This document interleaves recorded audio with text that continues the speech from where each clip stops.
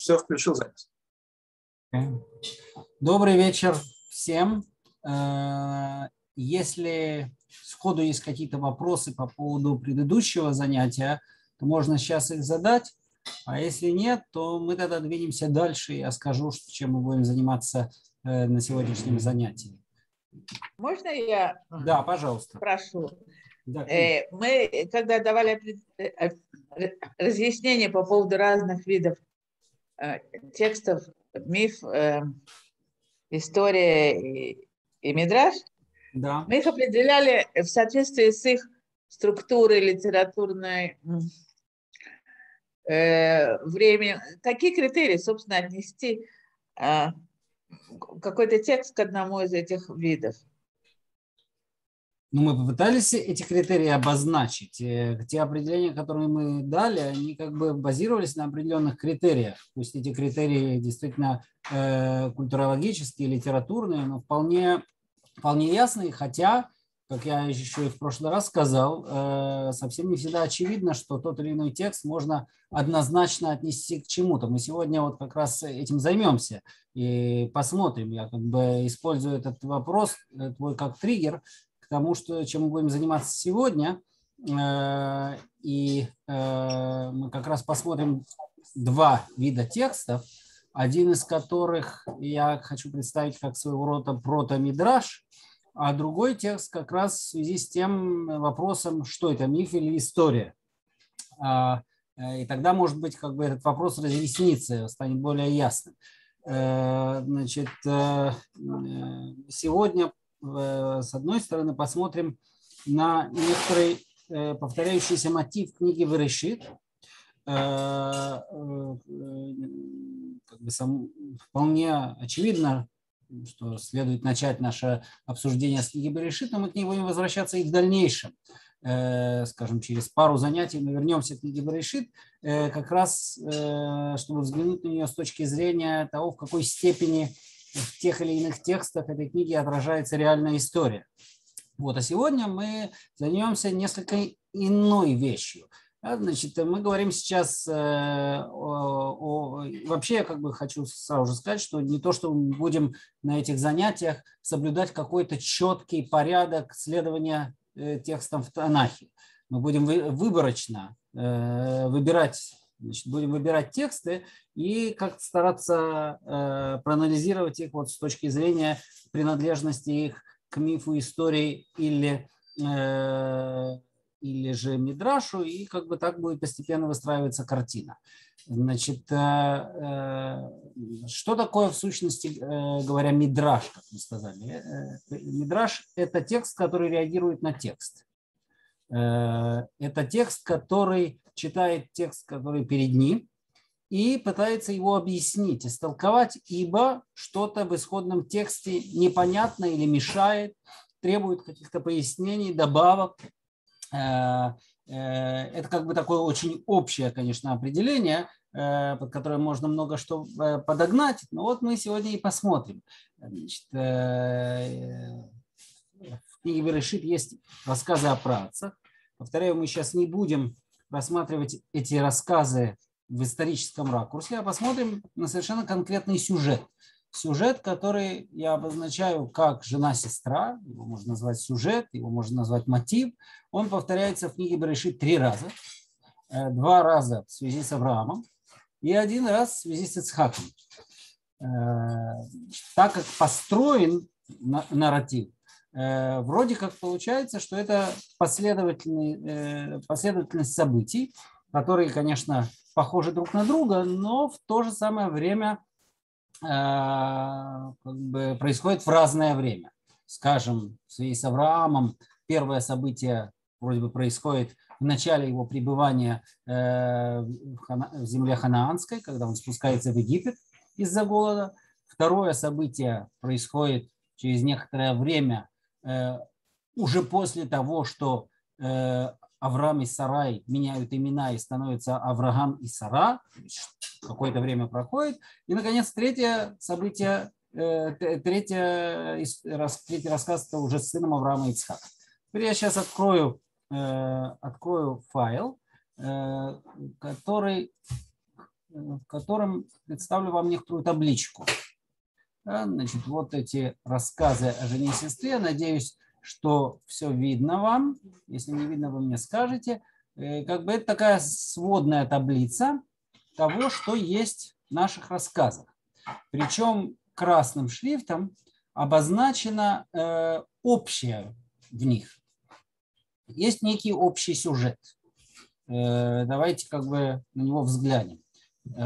Общий сюжет состоит в том, что э, герой и героиня оказываются в чужой стране. Э, в обоих случаях э, существует с точки зрения героя опасность того, что у него отнимут жену и вполне вероятно в процессе этого убьют его. Отнимет жену властителя этого места. Э, дополнительная сходная черта, да, дополнительная сходная черта, естественно, состоит в том, что героиня красива. Э, а кроме того, э, кроме того, во всех случаях царь этого места узнает тем или иным образом о том, что речь идет не о сестре героя, а о жене. Теперь э, я скажу буквально в двух словах, и не буду на этом останавливаться. Делались разные попытки в свое время э, на основании текстов, которые дошли до нас э, из э, разных мест э, в Месопотамии, э, тексты примерно второго тысячелетия до новой эры, э, э, тексты из такого места. Мари, э, город-государство, э, существовавшее, в частности, во времена где-то примерно в 18, 18 веке до новой эры и разрушенное Хамурапи, такое чуть более восточное город-государство Нузи, и в частности, в текстах, которые там были обнаружены, часть текстов на акадском языке, часть текстов на курицком языке, там были обнаружены довольно немало э, всяких параллелей тем э, э, собы... не, не то чтобы даже событиям, но некоторым чертам, некоторым характерным деталям, которые мы находим в рассказах о працах, и некоторых из них мы вполне возможно в дальнейшем коснемся. В частности, в НУЗе э, действительно э, обнаружили э, такую вещь, как, как свадебные договоры, в рамках которых человек вроде как женится на своей сестре. Вот. И что такие, и что такие браки считаются особенно престижными. Впрочем, впоследствии были найдены другие тексты, из которых явствовало ровно противоположное, что браки с женой и сестрой – это как раз некоторое обозначение э, сюжета, в рамках которого человек берет едва ли не уличную девку себе в жены. Во всяком случае, параллель с историей, которую мы читаем об Аврааме и Ицхаке в э, книге Берешит, очень-очень зыбкие здесь э, и трудно доказуемые. Нас же сейчас интересует другой момент. Э, значит, э, э, каково взаимоотношение между этими тремя историями? Значит, очевидно, что первая и третья истории значительно короче второй. Вторая занимает примерно около 20 стихов, Э, первая около 12 стихов, третья еще меньше. Э, вот, и следует, конечно, проследить за теми изменениями, которые здесь происходят, и тогда, может быть, нам станет ясно, каково, э, каково, какие отношения существуют между этими рассказами. Значит, если мы смотрим на первую историю, то мы обнаруживаем сразу целый ряд проблем разного рода, на которые я обращаю ваше внимание. Во-первых,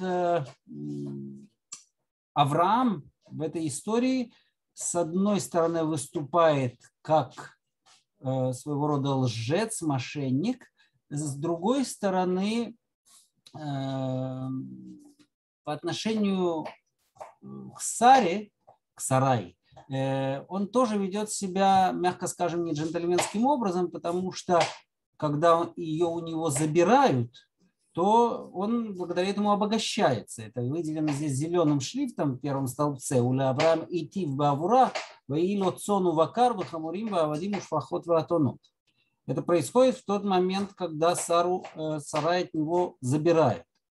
Э, нигде на протяжении этой первой истории не делается попытка опровергнуть тот факт, что э, Авраам э, лжет и вовлекает в эту ложь свою жену Сарай для спасения жизни, как будто бы, но тем не менее. Кроме того, кроме того, есть еще одна проблема, а именно третий герой в истории – это Бог, который поражает фараона, э, поражает язвами, болезнями, как сказано, Негаим Гдолим, э, из-за сарай. И вроде как получается, что фараон здесь избран в качестве мальчика для бития, без вины виноватый, Э, никто его не предупредил, его обманули, и вот его же еще и наказывают. И, наконец, последняя деталь, на которую я хочу обратить ваше внимание в этом первом рассказе, который тоже проблематичная, э, это то, что, в общем, э, после того, как правда обнаруживается, фараон довольно резко, если не сказать больше, в общем, прогоняет, прогоняет Авраама и его жену Кахвалех, и приказал фараон, и э, отправили э, его и его жену, и все, что есть у него. Э, это немножко напоминает э, историю об исходе из Египта, о которой мы будем говорить э, чуть позднее. Там, там тоже, как мы помним, в какой-то момент фараон прогоняет, прогоняет евреев, Э, там используется иногда глагол тоже тот же самый, как и здесь лешалех, иногда легареш, э, прогоняет просто потому, что опасается за свою жизнь, но тем не менее, как бы, э, евреи изгоняются из Египта. И не зря средневековые комментаторы, даже раньше еще Мидраши Хазаль, видели своего рода в этой истории такую, можно сказать, префигурацию будущего египетского исхода. Это одна из причин, почему я избрал эти две истории. История с женой, сестрой и исход из Египта э, как такую двойную тему нашего сегодняшнего занятия. Теперь давайте посмотрим, что происходит во второй истории, если мы удерживаем в памяти те вопросы, которые у нас возникли по поводу первой. Что мы видим? Э, мы видим прежде всего, э, после начала, которое сокращено, да, но как бы не, э, диалог между Авраамом и Сарой более короткий, чем тот, который происходит между Авраамом и Сарой в первой истории, но дальше начинаются подробности. Прежде всего сообщается, что Бог приходит к Авимелеху, царю Грара, у которого они находятся, приходит к нему ноч... Э, во время ночного сна и предостерегает его и говорит, ты умрешь сейчас из-за женщины, которую ты взял, ибо она замужем.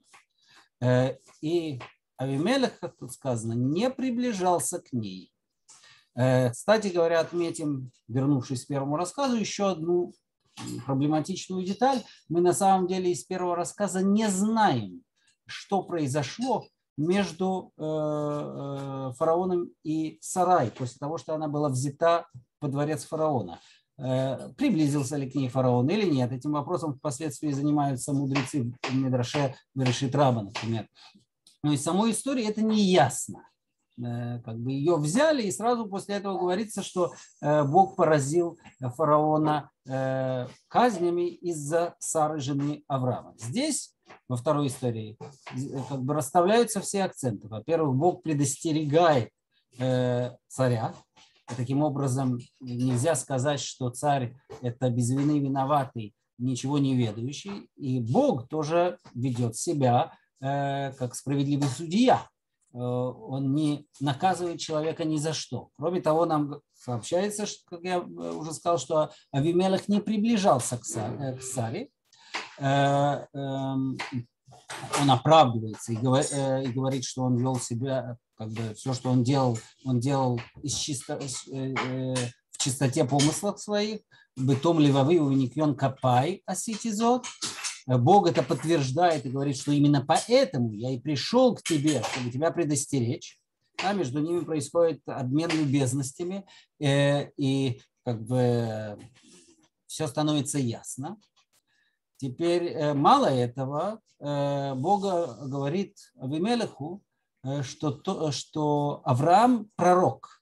Это единственное место, кстати говоря, не только в книге Берешит, но и во всем Танахе, где Авраам называется этим словом, Нави кинавигу. И, э, и отсюда мы, кстати говоря, э, выучиваем одна, э, одно из так сказать, функциональных предназначений пророка. Одно из. Пророк, в частности, молится за других, ибо его молитва более действенна, чем молитва обычного человека. Да, если он помолится за тебя, тогда ты будешь жить, потому что сам тот факт, что ты э, э, взял себе жену пророка, он уже ставит тебя под удар. И ты должен получить, казалось бы, э, Бог сам может отпустить этот невольный грех Авимелику, но нет, должен быть посредник, пророк, который помолится. Если же нет, то ты умрешь из-за нее. На следующее утро Авимелек встает и призывает к себе, во-первых, своих людей, э, и э, э, рассказывает им об этом так, что их наполняет страх. Ваиру анашим меод. И из этого страха очевидно, что пиетет по отношению к Аврааму и его жене растет, После этого Авимелек призывает себя Авраама, подобно тому, как и фараон призывает себя Авраама. Но есть существенная разница. Э, сначала э, Авимелек упрекает Авраама, а потом э, выслушивает ответ, из которого явствует следующее. Авраам ему говорит то, чего нет в рассказе, в первом рассказе. Там Авраам молчит, а никакого ответа не приводится. А здесь он говорит, что я поступил так, ибо думал, что в этом месте нет страха перед Богом.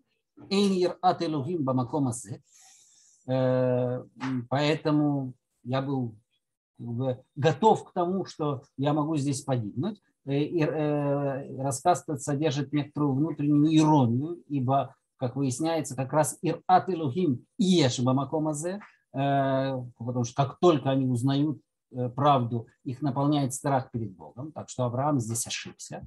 Э, а кроме того, выясняется, что э, таки Сара действительно является сестрой Авраама по этому тексту.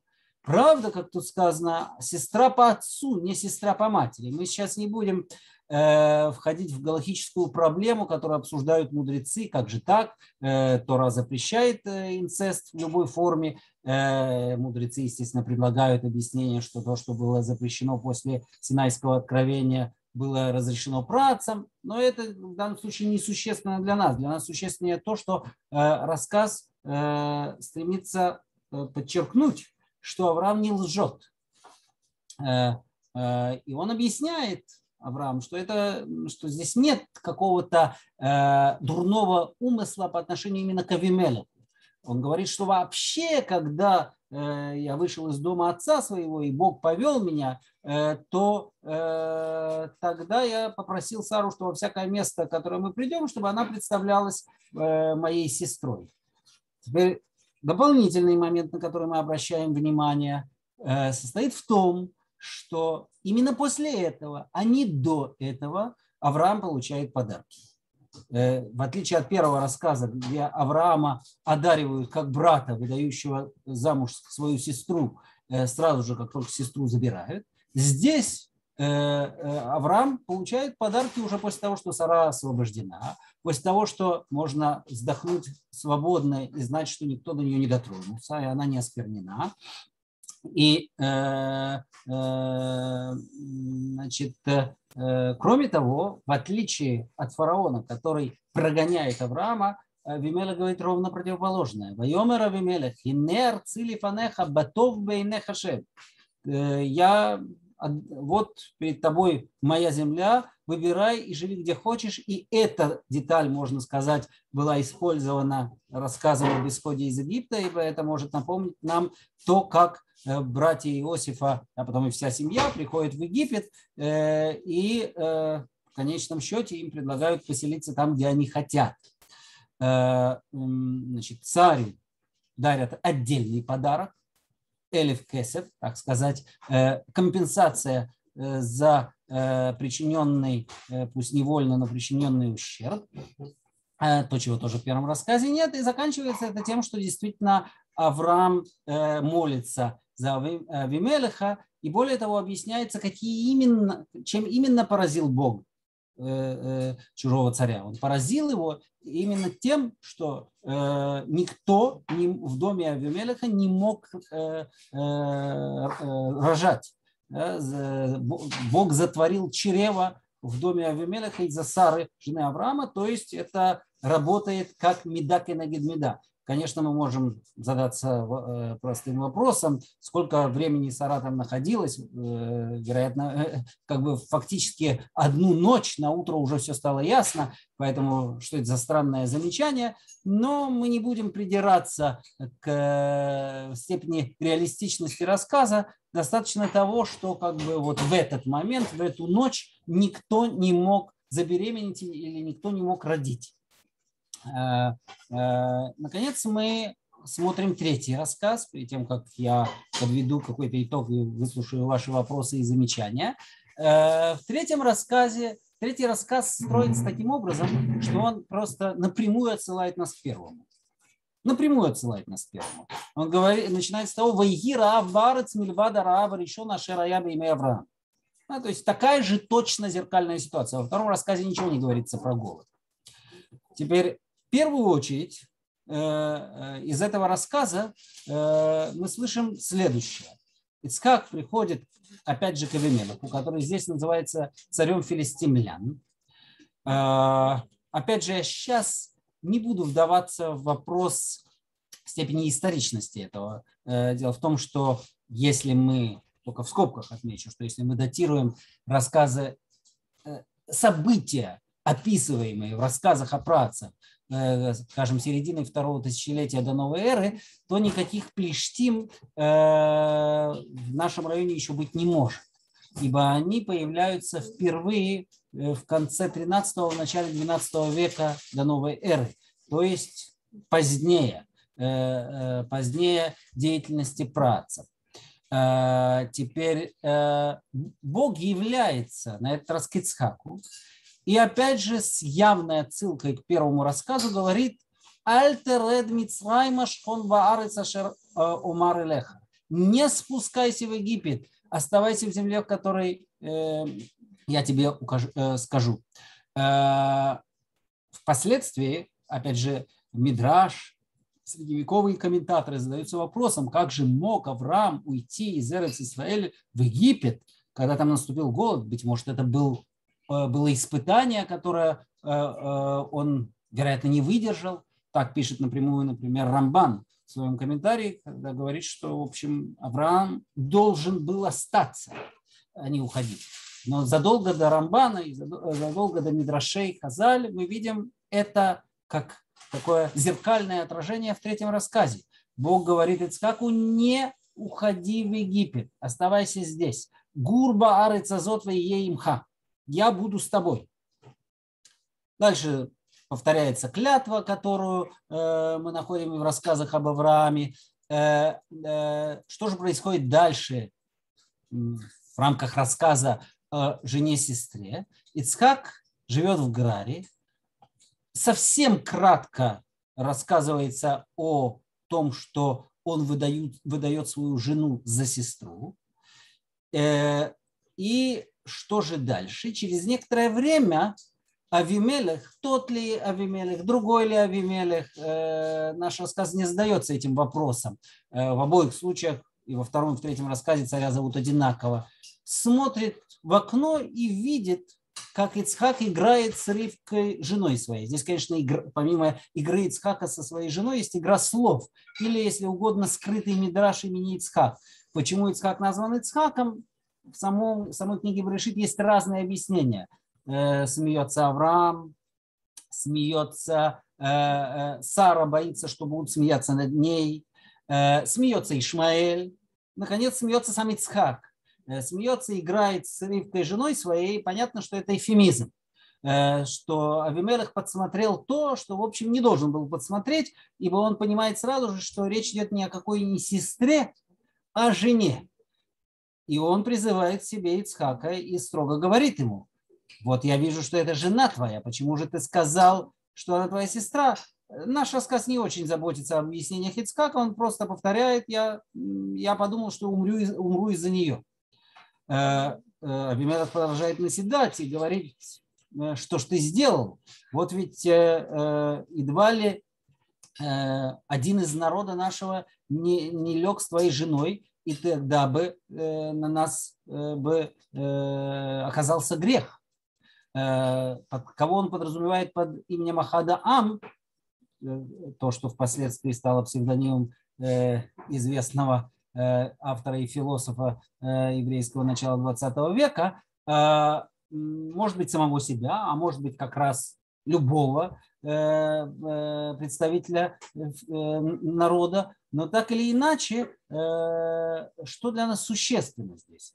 То, что рассказ прекращается, не начавшись, что жену и сестру даже не успели взять в царский дворец, когда выяснилось, Э, что она никакая не сестра. Э, после этого Вимелах отдает приказ народу, что всякий, кто дотронется до, этой, до этого человека его жены, умрет смертью. То есть не, э, нет и рассказа о, о наказании, потому что не произошло преступление. Более того, сам царь бы, грозит наказанием ослушникам. И, наконец, последняя деталь, на которую я хочу обратить ваше внимание – подарки. Никаких подарков в третьем рассказе нет. Э, э, Ицкак не нуждается в подарках от инородца. Он, как истинный сионист, э, сеет в стране Израиля, получает стократный урожай. Вообще этот рассказ третий полон выражений, которые впоследствии стали летучими. Да? Меашарим, названиями. Меашарим, Ахадаам – потому что Господь его благословил. И таким образом Ицхак разбогател. Вот перед нами три этих рассказа. Я как бы представил вам с одной стороны сходство, а с другой стороны отличия. А теперь я хочу задать вам вопрос, после, перед тем, как я сделаю следующий небольшой шаг, я хочу задать вам вопрос. Э, как вы объясните э, отношения между этими тремя рассказами. Приглашаю вас сказать несколько слов. Я пока закрою, сделаю стоп-шер, потом вернемся к этому файлу. Пожалуйста. Есть у кого-то идеи? Да, господа и дамы, пожалуйста, можно включить микрофон и, соответственно, озвучить э, желаемое.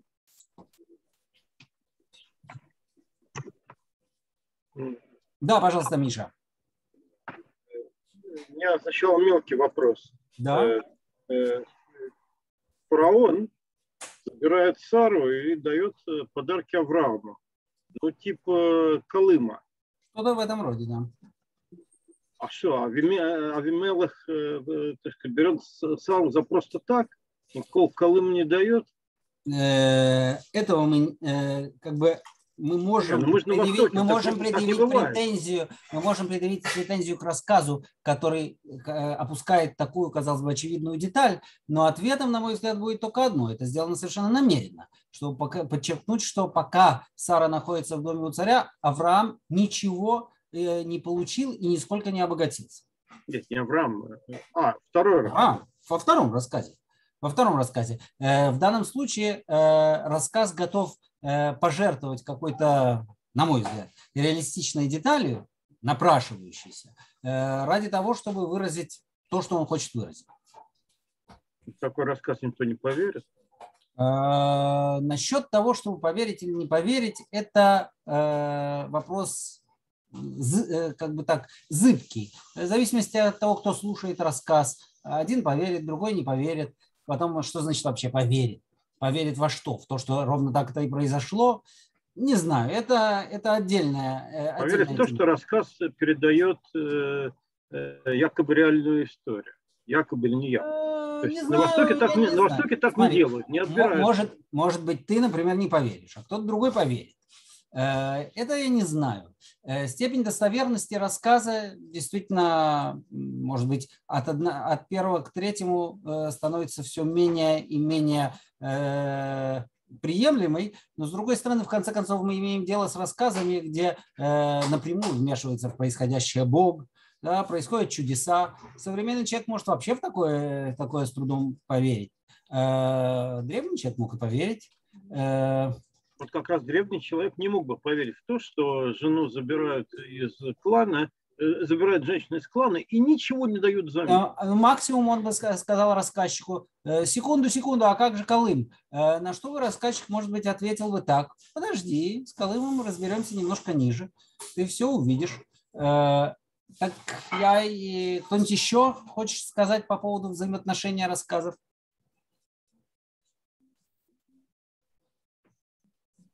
Я могу, конечно, сам сказать, что я думаю, но все-таки. Да, Можно... пожалуйста. Да.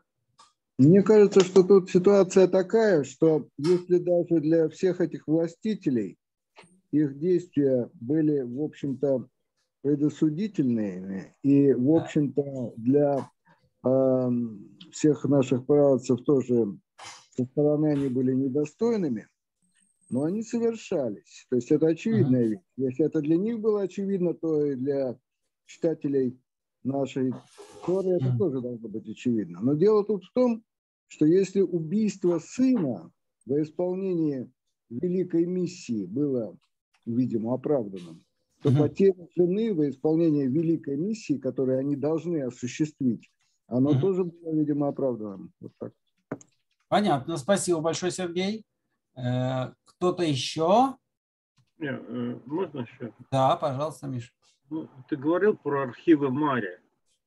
Да. Там, там, по-моему, есть несколько историй, где брат выдает сестру замуж. Это в Нузе. В Нузе. Это, не история, это не столько истории, сколько э, дело, в деловых документах такое упоминается. Э, причем э, я говорю, что велись споры между э, исследователями этих документов, идет ли речь о каких-то э, уважаемых браках, как думали сначала, или наоборот, о, как, о чем-то таком довольно проблематичным, как э, выясняется из э, чтения э, более новых открытых документов. Вот, кстати, Нузи – это был город-государство, который находился на берегу Тигра, тоже примерно тот же самый период. Это было такое государство, государство Митани, вот, тоже во втором тысячелетии до новой эры. Вот, но но опять же, я э, как раз это, этот момент, брак с женой, с сестрой, он весьма проблематичный, тем более, что я еще отмечу, что э, известны браки жены, жены сестры из других источников. Например, в Древнем Египте э, такое как раз происходило э, не раз и не два, когда фараоны женились иногда на сестрах, иногда на дочерях даже бывало. Это их не очень смущало. То есть как бы такие понятия существовали из древнеегипетской любовной лирики, до нас дошли вещи, чем-то напоминающие слова Шира Ширима о том, что невеста называется одновременно сестрой, а хоть и кала. Э, вот, и там такие же вещи. Но я все-таки хочу возвратиться к тому, что я, э, тому вопросу, который я задал. Э, я... Можно сказать? Да, пожалуйста, конечно, Эмиль. Значит, мне кажется, что, в общем-то, тут очень тесно все переплетается. Я не знаю, что подразумевали те мифы у других народов, где встречаются эти эпизоды, но в Торе они использованы, так мне кажется, для того, для определенной цели, да? Да. То есть от этого, из этого исходит их сходство и различия. Да. Значит, э, одна из целей это при всем при том, что как бы там есть э, Ират Шамаем, но это не та Ират Шамаем, э, которую подразумевает Авраам и Исхак, потому что они как бы написано готовы были лечь с ней и так далее, но нигде не говорится о том, что кто-то собирался сказать, жениться и все такое. В общем-то, то есть э, одна из целей – это показать ту среду, в которую э, опускается, в которую приходит Авраам, и как живут другие народы, и что его окружает. Uh-huh. При всем том, что это еще не было так, допустим, как при фараоне вот, во время исхода, но это важный момент, мне кажется, чтобы показать, куда они пришли. Отличие их от других жителей, от других стран. Вот. Но и кроме того, что Тут как бы заранее предусматривается, что они, стану, они должны стать прародителями святого народа. И, в общем-то, это так же, как в Египте обогащаются евреи, когда они получают это богатство да, из Египта, которое они уже как бы одалживают там или собирают это после того, что погибли египтяне. Uh-huh. Вот, так и потом это на протяжении, значит, э, в общем-то, э, Танаха, можно даже сказать, что евреи – это как бы народ Божий, и они как бы все народы должны прийти и поклоняться, и что у пророков есть, что другие народы будут, значит, э, вот, и то, что они, когда они уже входят в землю Израиля, что они будут жить в домах, которых они не строили, и так далее. То есть э, евреи, они как бы на положении коинов э, в мировом масштабе, Uh-huh. И другие народы как бы значит, должны их как бы даже содержать и помогать им и все такое вот. То есть они не э, как бы их труд это не тот труд, который как бы значит как бы для обеспечения, да, а они как бы своего как бы надела как бы не имеют, при этом вот они все время путешествуют, пока Всевышний им дает эту землю. Вот. И э, в этом, как бы, мне кажется, заложена определенная идея изначально какая-то Тары, которая, мне кажется, что вот она так и писалась с определенным умыслом, с определенной целью. Да. И, и таким образом эти рассказы, а то, что из отличие Исхака от Авраама, это то, что, конечно, Исхак, он а, значит, получил особую, опять-таки, святость, опять-таки, выделенность, это большое значение имеет в Таре. Э, то, что он был на жертвеннике, он обладает такой святостью, которая ему не позволяет не спускаться, не обогащаться за счет других, что он как бы выделен особо поэтому. Вот, такое спасибо, спасибо, Эмиль. Э, я вижу, что большинство из вас, видимо, не смущены тем, что смущает меня. Да, я сейчас вернусь к файлу, открою его снова. Меня смущает сам, э, из ответов, я так понял, что вас это меньше смущает. Меня смущает сам факт повторения, да, что есть три рассказа, которые в сущности говоря э, повторяют одну и ту же ситуацию, создают такой триптих. Э, ну, это с одной стороны. Но с другой стороны, я как бы э, как учил меня э, один из моих учителей Яир Закович, в таких случаях, значит, надо прежде всего определить, в чем сходство, и дальше искать различия, и тогда пытаться объяснять. Значит, мое мнение состоит в следующем, я его кратко скажу, что каждая новая версия рассказа призвана объяснить предыдущую. Это не совсем, конечно, мидраж в смысле хазаль. Повторяю, мы уже это упоминали в прошлый раз.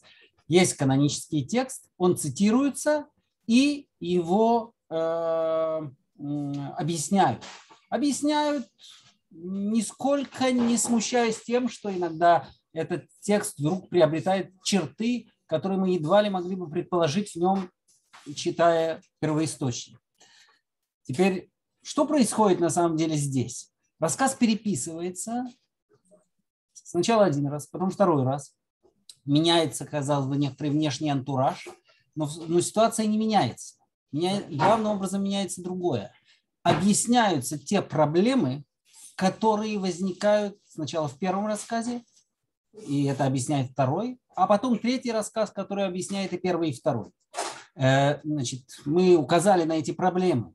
Проблема с, э, с тем, что Авраам ведет себя не очень ясным образом лжет, обманывает. Не видно, как он заботится о Саре, о Сарае. Бог не проявляет черты справедливого судьи и наказывает фараона, не объявив ему о том, что э, Сара не есть э, сестра Авраама, его жена. Э, Авраам обогащается. Э, потом Авраама выгоняют, в общем, с позором из Египта. Мы не знаем о том, что произошло между фараоном и Сарой в тот момент, когда она была взята во дворец фараона. Все эти детали вдруг неожиданно высвечивают во втором рассказе. Случайно ли? На мой взгляд, нет. Потому что второй рассказ работает вот как такой протомидраж. Он объясняет все эти проблемы. Э, я еще раз повторяю. Во втором рассказе Бог предупреждает Авимелеха. Подчеркивает особый статус Авраама как пророка. Авраам отнюдь не лжец он говорит чистую правду. Или, скажем, по крайней мере, полуправду. Но, во всяком случае, не прямую ложь. Э, э, Авраам является непосредственным посредником между Богом и людьми. Авраам не обогащается за счет Сары, э, а получает подарки уже постфактум. Мы знаем точно, что Авимелech не успел дотронуться до Сары. Наконец, Авраама не выгоняют. Наоборот, ему предлагают остаться в этой земле э, и э, выбрать э, любое место, где он хочет быть. Объясняют нам, наконец, что это были за такие казни, которыми поразил Бог иноземного царя. За счет этого второй рассказ становится столь длинным. Сравните, что происходит, когда мудрецы толкуют в мидрашах тот или иной библейский рассказ. Он тоже вырастает Э, очень часто до больших, огромных размеров, потому что добавляются разные детали. Теперь третий рассказ, э, наоборот, сокращает. Но что сокращает? Э, третий рассказ вообще не хочет смириться с тем, что жена героя может быть взята пусть даже на время в царский дворец. Этого не может быть, потому что этого не может быть никогда. Поэтому это заранее пресекается в корне. И Второе, что не устраивает этот третий рассказ, это э, то обстоятельство, что наш герой, э, избранник Бога, обогащается благодаря какому-то инородному царю. Да ни в коем случае. Это потом инородный рассказ, продолжение инородный царь и его, э, его вельможи, как будет рассказываться в продолжении, придут э, к Ицкаку просить его о помощи, а не наоборот. Ицхак сам сажает и обогащ... Э, э, обогащается благодаря тому благословению, которое ему обещает Бог. Разумеется, Ицхак, это третий момент, который не устраивает первый рассказ, третий рассказ, и который не проговорен во втором. Он как бы подразумевается, как само собой разумеющееся, но третий рассказ-то проговаривает напрямую. Раз герой не должен уходить из земли Израиля, он остается здесь. Теперь я Э, были разные способы объяснить взаимоотношения между этими рассказами. Я сейчас не буду вдаваться в теорию, э, так называемую гипотезу о э, документальную гипотезу или в гипотезу об источниках Торы. Э, я даже сейчас не ставлю вопрос об авторстве. Это меня меньше волнует на данный момент. Э, э, меня гораздо больше интересует факт того, что происходит с рассказом, на каждой новой ступени его преобразования. И это, на мой взгляд, черта Мидраша. Теперь, э, теперь я для того, чтобы это подкрепить, покажу вам, что происходит с этим рассказом в дальнейшем. В дальнейшем э, в постбиблейской литературе этот рассказ продолжает жить.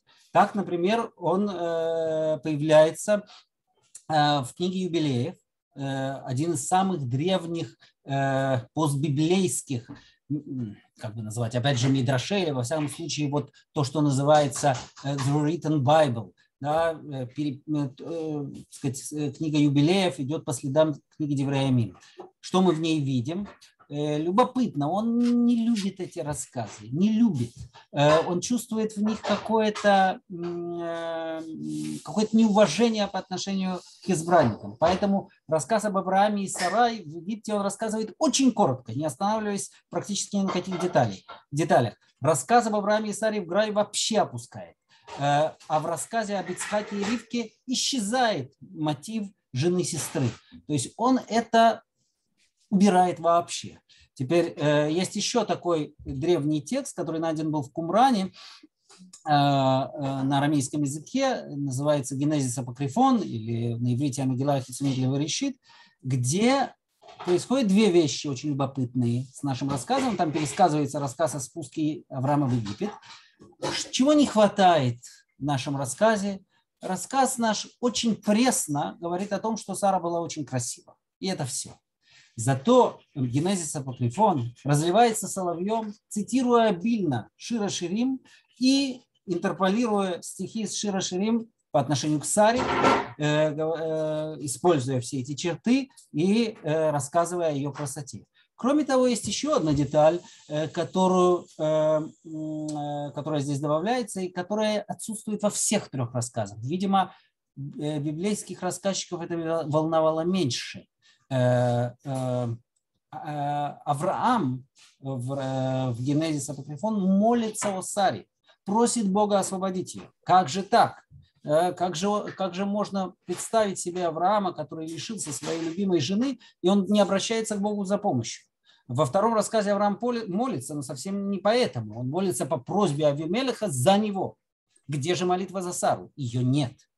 Э, еще дальше идет э, Иосиф Флавий в первом веке. Чуть позже, позже Генезис Апокрифон Э, книга юбилеев датируется вторым столетием до новой э, эры. Генезис Апокрифон, возможно, первым столетием до новой эры. Э, первое столетие – это иудейская война Флавия, где Авраам и Сарай неожиданным образом превращаются в царей. Сарай похищается фараоном, которого зовут Нехо, один из фараонов, который существовал реально в конце эпохи первого храма. То есть все как бы смешивается. Э, э, Сара, Сара возвращается не благодаря силе оружия, а благодаря молитве Авраама. Это подчеркивается здесь. Э, некоторые утверждают, что когда Флавий писал Иудейскую войну, он цитировал текст по памяти, и поэтому мог чего-то напутать. Хотя это мне представляется весьма сомнительным, поскольку он был из коэнской семьи и тексты Торы, несомненно, знал. Э, э, правда, в Кадманиота Иудим он э, рассказывает, рассказывает уже более близко к тексту, но любопытно, что и в случае спуска Авраама и Сары в Египет рассказывается о том, что Авраам получает подарки после освобождения Сары. Тут опечатка сарай, должно, должно быть сарай, и фараон не успевает до нее дотронуться. И, наконец, я не буду все приводить из Флавия, наконец, последний, наиболее поздний источник из всех – это э, Берешит Раба, э, где э, уже конец IV века новой эры, начало V, возможно, там рассказывается, что Авраам уже прикладывает усилия к тому, чтобы Сара не досталась фараону, он ее прячет. Там не только Авраам молится, но и Сарай молится. Э, и, э, кроме того, во все это дело вмешивается напрямую ангел, который э, бьет фараона по рукам и не дает ему дотронуться до Сары. То есть мы можем отследить некоторую цепочку. Цепочка это постепенное преобразование исходного рассказа, где каждая новая стадия является своего рода исправлением предыдущей. Э, э, в полном смысле мидраж встречается только у, э, у Хазаль, поскольку, опять же, для них текст абсолютно канонический. Все остальные тексты переписывают по-своему рассказы истории. Но для меня было важно подчеркнуть, что сам этот процесс начинается в самой Торе. И когда мы говорим, произносим слово «мидраж», как реакцию, как рефлексию текста – на текст, который он читает, э, это начинается исходно, в самом начале, в самом Танахе, в самой книге Берешит. То есть и в этом смысле можно сказать, что книга Берешит – это Берешит, Кирешит Гамидраш. Э, это то, что я хотел сказать по поводу первой части. Я, я вижу, что вижу, что на вторую часть останется только место для некоторого введения, но неважно, я бы хотел сейчас сначала услышать какие-то ваши реакции э, на то, что, э, на то, что было мною сказано. Можно я как бы дополню то, что я сказал, вот после того, что вы объяснили. Мне кажется, что все-таки есть разница между внешними значит, толкованиями, которые могут быть, да, да. Как я, я, я, я, в общем-то, не все готов считать это мидрашом. Я не уверен, что все это соотносится как бы с э, идеей Торы. По сравнению с, когда мы имеем дело с Торой, с единым текстом. Поскольку действительно устное творчество, оно для него характерно, что переиначивают и добавляют, и изменяют. Это одно – а когда это все направлено на какую-то определенную идею объяснения Тары, то мне кажется, что это все-таки другое. Конечно, Тара могла использовать и это, то есть то, что тексты пересказываются и могут иметь по-разному звучать. Вот, и при этом как бы действительно дополнять. Но мне кажется, что дополнение имеет определенную уже цель конкретную. То есть когда разница между фараоном и Авимелехом в том, что где-то, если я не ошибаюсь, конечно, Авимелех назван э, коином э, Сариадин, э, ошибаетесь. Нет, вы ошибаетесь. Это совсем другой персонаж. Его зовут Малкицедек, и это другая совершенно история. Да, ну тогда, тогда я считаю, что при всем при том, значит, э, я не знаю, Авимелех, из какого он народа, кто он. Там Вы сказано знаете? напрямую, что он из филистимлян. Это, конечно, анахронизм в Торе, потому что, повторяю, э, ну, да. филистимлян Э, в, в то время, которое вроде как Тора подразумевает, рассказывая историю о праце, в этой местности просто еще не было. Они Понятно. не пришли. Понятно. Но, по крайней мере, это не фараон, это не Египет. Египет считается как Египет. бы самым таким э, э, царством э, не святым, далеким от святости. В то время как... Кем считается? Как, а? Торой, самой, самой, самой Торой. Торой и ну, скажем так, э, смотря, э, смотря что э, и где сказано. Вы сказали, что ну, Тора текст единый. Виду... Он может быть текст единый, но очень многоголосый. История исхода, она показывает, с кем и как, кто там. Ну и в Мидрашах, конечно, тоже. Это уже Мидраши, которые направлены на толкование Торы, а не на просто как бы интерпретацию устного какого-то рассказа. И, ну, мне кажется, что здесь э, важно было показать, то есть по сравнению с фараоном, что это вот э, одно какое-то, одна ситуация, а вот э, что в других случаях, может быть, нет такого падения. То есть люди, хотя они все как бы не знают Всевышнего по-настоящему и не стремятся к этому знанию, но могут быть разные просто ситуации, разные. И кроме того, что как бы Авраам, он сам как бы растет, да, то есть он не находится на одном и том же месте. То есть это, это действительно можно было бы можно было использовать в самой Таре как раз как перерассказ, как устное творчество внутри Тары, которое показывает, что Авраам как бы уже теперь э, действительно и он действительно как бы проходит все испытания, и есть определенная динамика в его э, росте. Вот. Может Понятно. быть, это Понятно. Да. Спасибо большое, Эмиль. Я бы хотел все-таки, может быть, еще какие-то реакции выслушать на мое предложение. Да, Миша, пожалуйста. Э, ну, по-простому получается, что рассказ Авраама и Сары в Египте еще может быть какой-то реальная подоплека, а два другие рассказы – это исторические анекдоты, которые приписаны, и, в общем, э, им можно не верить, короче, э, что они реально были. А рассказ про Авраама и Сару в Египте, он имеет какие-то реальные основания. Этого я не сказал. Не, ну, грубо говоря, э, так. Я бы, я, я бы все-таки сказал иначе.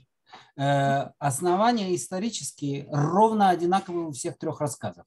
Э, насколько они историчны? Мы вернемся к этой тематике, я говорю, э, через несколько занятий, когда будем говорить о заселении евреями этой земли и о степени историчности того, что на эту тему рассказано.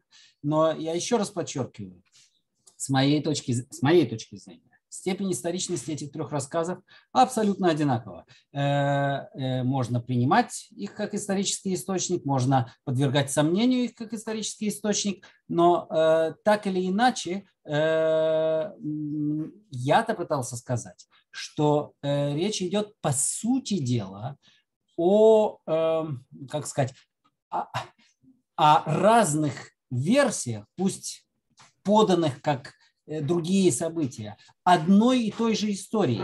История не в, э, не в том смысле, что это история Авраама и Сары в Египте, а в том, что это история героя и его жены-сестры, как литературный мотив. Вот что было мне важно здесь. Я понимаю, но меня, меня что смущает в таком э, подходе.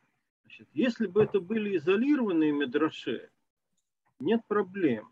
Но эти же истории, они вплетены в повествование Торы. Например, Верно. история Авраама и Сары в Египте, она служит для того, чтобы объяснить, почему Авраам вообще вышел из Египта. История э, Ицхака и Ревки и Авимелах, она служит, э, там важно, что Сара и Ревка бесплодные. И то есть, это, эти истории их как-то оттеняют. То есть если получается, что история про Ицхака и Ривку, она полностью списана с Авраама, то тогда э, исчезает связь, то есть а попадает аспект, что Ривка бездетная. Она не, не списана, она истолкована. Теперь я согласен, Миша, с тем, что ты говоришь. Есть контекст. И я этот контекст сейчас не приводил. Разумеется, Э, рассказы эти вписаны в тот контекст, в котором они находятся, и они уже завязывают связи с теми текстами, которые находятся рядом с ними. И это совершенно отдельный разговор, каково э, предназначение каждого из этих рассказов в том месте, где он находится. То, что, опять же, интересовало меня, и я хотел вам это представить, э, это именно связь, как бы сказать, по другой оси. Э, связь, парадигматическая связь, парадигматическая связь между тремя рассказами, которые не могут не привлечь себе внимания. Теперь надо еще э, отметить в этой связи, что это не единственный случай. Э, он может быть разве что единственный потому, что есть аж три версии. Обычно бывают по две. Но вообще-то есть немало рассказов Торе, и не только в Торе, э, в ранних пророках тоже это встречается, когда у нас есть дублеты. И э, можно по-разному пытаться их объяснять. Э, но нет сомнения, что возникает сам вопрос связи между этими дублетами, потому что они настолько похожи, что как-то требуется обратить на это внимание и попытаться объяснить это сходство с одной стороны и различие с другой. Вот. Э, есть еще кто-то, кто хотел бы высказаться перед тем, как мы будем завершать, и я просто сделаю преамбулу к следующему занятию. Да, Андрей. Я, я просто очень, очень коротко хотел сказать. Не знаю, мне лично кажется, понимаешь, э, есть два, для меня два капитальных подхода. Да. Один подход, что то, что, то, что мы обсуждаем, письменная Тора, да. Это вещь, которая была дана Всевышнему. То есть вообще как бы не обсуждается, мы должны понять, почему. Второй подход, который, ну, можно как бы приспособить, который говорится о том, что во многих литературных произведениях ну, есть такие литературные приемы, повторения, зачины, повторы, э, повторяется несколько раз с рифмой, без рифмы, там это куча народного фольклора можно взять, понимаешь, как бы то, что да. повторяется все время. Это, это, да. не новый, это, это не новый прием, правильно? Он все время повторяется да. у разных народов. А здесь можно сказать то же самое. Понимаешь? Поэтому вот между этим и этим мне, честно говоря, довольно сложно себя найти, потому что как только мы сходим с позиции как бы, ну я не знаю, не хочу сказать квадратно-ортодоксальный, но просто однозначно, это Тора, зота Тора Шекибель Муше. Да. Все, понимаешь? Не, нечего как бы мне, как только мы начинаем говорить, а почему, а может быть это было наслоение, а может быть это было так, мы тут же выходим как бы на периферию народов да. мира, где это совершенно нормальный пример. Их очень, ну, возьми например, стихи Галича, послушай. Тетя Фингали, там все время повторяются какие-то вещи. Слегка, да? Ну, представляете, есть такой прием. Для того, чтобы убедить, с повтором с некоторым изменением. Понимаешь, но тебе как бы литературоведы объяснят все это. Это как бы, ну, все. Okay. Я понял, что говоришь, я постараюсь соединить да, эти два, два полюса. Значит, когда мы говорим, что Тора дана Всевышним, э, дана на Синае, и это священный текст, что, собственно говоря, к чему это, собственно говоря, нас обязывает, помимо того, что мы, как э, тех из нас, кто э, воспринимает себя как верующие евреи и э, в этом смысле обязаны исполнять волю Бога, так как мы принимаем ее на себя, скажем, в соответствии с, э, с Аллахой э, мудрецов, к чему еще обязывает э, нас вот это требование? Если бы я, я так думаю, что если бы я спросил бы мудрецов эпохи Талмуда, да, грубо говоря, почему они толкуют Тору, я думаю, что ответ был бы очень простой, чтобы понять чтобы понять, потому что для них это живой текст.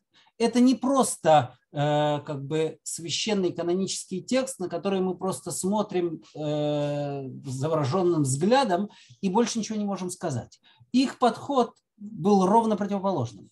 Э, главный вопрос был «Маперуш хадава», э, э, как это истолковать. Они воспринимали этот текст как живой и хотели его понять. Теперь то, что я попытался здесь представить, это одна... Что значит живой, только прости, да? Вот, живой вот... это значит э, текст, с которым живой они... Живой в смысле входят... не божественный? Нет, божественный, но тот, с которым они входят в непосредственный контакт. Э, текст, э, об этом, например, Левинас писал э, в отношении, по отношению к еврейским источникам. Некоторое живое отношение к тексту, заключающееся в том, что это не просто э, некоторая замершая форма, пусть даже священная, но абсолютно замершая и, в общем, для твоей души не актуальное, э, э, ну, что-то рассказывается когда-то, и это освещено. Нет, это живой текст в том смысле, что я с ним э, начинаю вступать в живой прямой диалог. Как я это делаю? Я как диалог, его... как диалог да, с любым я, я, я пытаюсь его okay. понять, объяснить. Теперь очень часто мудрецы использовали различные формулы, в которых они как бы извинялись заранее э, за то, что они говорят. Ну, например, очень известная формула. «Ильмалеха давар катув и в шарле умро». Если бы это был, не было написано, нельзя было бы этого даже произнести. Э, ой ой в тексте есть какие-то вещи, которые меня, значит, как бы мое понимание приводит к каким-то довольно радикальным выводам. Так вот, как бы, э, возвращаясь к твоему вопросу, я полагаю, что то, что я сейчас представил, это одна из попыток понимания текста. Э, э, и это вовсе не сводит его э, с престола священного, священного писания. Более того, на мой взгляд, чем более сложные и интересные вещи в этом тексте открываются, тем это, на мой взгляд, плодотворнее для наших с текстом взаимоотношений. Я приведу здесь буквально одну историю хрестоматийную, которую я люблю в этой связи рассказывать. Э, когда-то э, я был на э, занятия, посещал занятия известного библеиста Израиля Кноля, и там со мной вместе был некий человек, молодой довольно, но, в общем, хариди. И вот как-то раз после одной из этих лекций он подошел ко мне и с довольно таким страдающим выражением лица сказал, вот он же говорит всякие вещи, которые, ну, в общем, с точки зрения нашего, э, ну, э, того, к чему мы привыкли, скажем так, выглядят весьма проблематично. Он выразился очень дипломатично, этот человек. Я не стал говорить просто кфера или что-нибудь в этом духе. Я ему сказал, ну, в конце концов, ты же сам выбрал сюда прийти, почему же ты сюда пришел, если, тебя, э, если тебе это мешает? И он тогда сказал, потому что это так интересно. Это, на мой взгляд, вполне, вполне э, удовлетворительный ответ. Если это интересно, значит, это живой текст. В тот момент, когда это перестает быть интересным, э, когда мы не пытаемся открыть для себя в нем что-то новое, тогда начинается проблема. Теперь э, время наше вышло, я просто скажу, загол... какой заголовок, чем мы будем заниматься. Можно я только вот еще к тому, что вы сказали. Одну, одну секунду, одну секунду, Эмиль. Э, я просто хочу все-таки какой-то заголовок, может быть, люди спешат. Э, значит, э, заголовок такой, мы будем заниматься другой вещью, хотя и смежной. Я говорил, что э, исход из Египта связан отчасти с этими рассказами, но взгляд будет совершенно другой. Мы посмотрим на историю об исходе из Египта с двух, э, как бы исходя из двух ракурсов история из исхода из Египта как некоторое отражение возможных реально, реально происходивших исторических событий, пусть даже преображенных в Торе, это один взгляд. И другой взгляд – это взгляд на этот рассказ как э, историзация мифа. Какого мифа, я вам скажу даже сейчас, э, без всяких подробностей. Мифа о сотворении мира. Э, как историзация мифа о сотворении мира. А что за этим всем кроется, это мы уже будем в следующий раз с вами обсуждать. Э, э, да, я вижу, что две последние реплики. Я сначала дам слово Эмилию. А когда да. будет следующий раз? А в следующий раз вроде на следующей неделе в понедельник? Нет? Лишь секунду. У нас постоянно, если нет специального объявления об исключении, у нас постоянно Димен курс по Йоме Э, что у нас сегодня? Шени, Шени правильно? Шени. Это понедельник Шени. называется. Да, Шени, понедельник, 8 часов вечера. Слегка. Да, Эмиль, что вы хотели сказать? Значит, я хотел сказать, что вы представили да. как бы ситуацию, что вот, э, мне кажется, это очень большое имеет значение к тому, как вы подходите, что вот взяли книгу, они хотели понять, что, о чем там эта книга, что вот они как бы, э, что вот это древний, я не знаю, о ком вы говорили, вот читатель, он Э, у него был живой интерес к этой книге, он хотел понять, поэтому его интересовали вот эти вот истории, сравнения и все. Но мне кажется, что тут э, дело в том, что письменная Тара, она не только что даже может быть, э, как бы, по крайней мере, одновременно с устной Тарой возникла, как бы и сопровождала всегда. И, а скорее всего даже, что очень много элементов устной Тары были до письменной Тары. То есть э, он получал текст уже с пониманием, уже с сакральными значениями, и эти вещи, они э, как бы значения и смысла, они как бы шли вместе. Вот. То есть толкование началось не после того, что сначала была написана письменная Тара, а потом началось Мидраши. Да? Вот этот момент, мне кажется, очень важный для того, чтобы правильно подойти к Это ситуации. ровно то, что я пытался сказать сегодня, что толкование начинается в самом тексте Торы. Вы хотите сказать, что устная Тора началась одновременно с письменной. Я совершенно не оспариваю это, э, этого утверждения. Э, я только хочу сказать, что Хазаль, например, мудрецы, и это как бы доказано, исследовано, когда они толковали тексты Танаха, тексты Торы в частности, они воспринимали э, весь Танах как своего рода такую игровую площадку, как интертекст, когда э, можно было совершенно свободным образом. Иногда нам кажется, что это довольно э, притянуто за уши, слишком причудливо, но они свободно могли для того, чтобы объяснить один текст, взять из другого места совершенно другой текст, да, объяснить там при помощи рассказа истории какой-нибудь стих из книги Таилим, и сказать, что это то, что там имеется в виду. Э, то есть как бы э, э, вот такой интертекстуальный подход, который я попытался продемонстрировать, их нисколько не смущал. Наоборот, как бы воспринимался ими как нечто весьма плодотворное. Ну, я думаю, что на этом нам надо завершать, да? Я очень надеюсь, что в последующих занятиях, пожалуйста, все участвующие в дополнение к тем, кто сегодня как бы высказался, пожалуйста, принимайте участие. Да, я тоже И очень все совершенно свои. Рад. Э, да, можно говорить все, что угодно. Да, доктор Давид Капелевич, которым также Дима, которого мы знаем, вообще говоря, лет 30, наверное. Вот, он вполне благожелательный, значит, тут никто ломит носы, никто не высокомерный, вот, ни глупых мнений нету, да. И можно даже одну-две фразы сказать, написать в чате, но я как бы знаю, что все лекторы всегда говорят, что очень тяжело, когда молчание в зале. Поэтому даже если вы пишете в чате, это создает совсем другую э, атмосферу в аудитории. Сто процентов. Окей? Да, Дим, ты согласен со мной? Да, абсолютно согласен. Я вот вижу, что как раз после твоих слов пришел чат от э, Игоря. Спасибо. На этом примере я по-другому увидел подход устной туры как объяснение письменной да? туры. Да. Спасибо большое. Я это рад, окрыляет, что это просто э, окрыляет лектора. произошло. Это окрыляет лектора. Okay. Спасибо большое всем. И всего доброго. А, до встречи на следующей неделе. Им огромное спасибо. Было дико интересно. Мы продолжим разбирать, сражаться, выставлять мнения и так дальше. Именно для того, чтобы сделать наш главный предмет обсуждения Святую Тору очень живым и интересным предметом, что не противоречит еврейской традиции. Окей? Спасибо. Спасибо огромное. Спасибо вам. Всем, всем счастливо, до свидания. Пока, пока, пока. Пока, пока.